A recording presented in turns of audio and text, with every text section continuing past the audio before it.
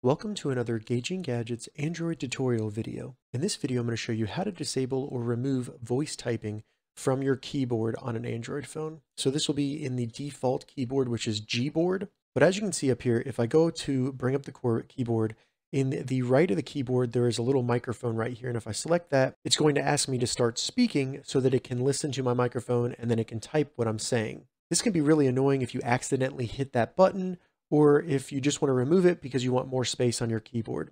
So to get started with how to disable or turn off voice search on your Gboard keyboard, what we need to do is open up the settings on our Android phone, and we could do that by looking through the apps and finding settings and opening it up. Once you get into the settings, scroll down until you see system, go ahead and select system, and then at the top you should see languages and input.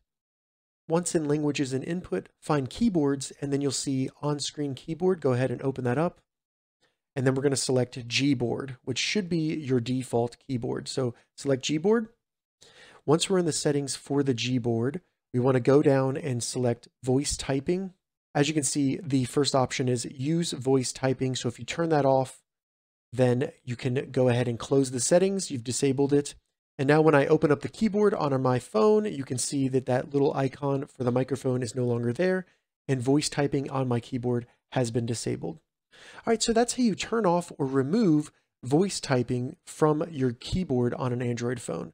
If you have any questions about this, leave a comment below. I'll get back to you as soon as I can. If you'd like to see more Android tutorial videos, check the links in the description. If this video helped you, give it a thumbs up, and please consider subscribing to my channel, Gauging Gadgets, for more gadget reviews and tech tutorials. Thank you so much for watching.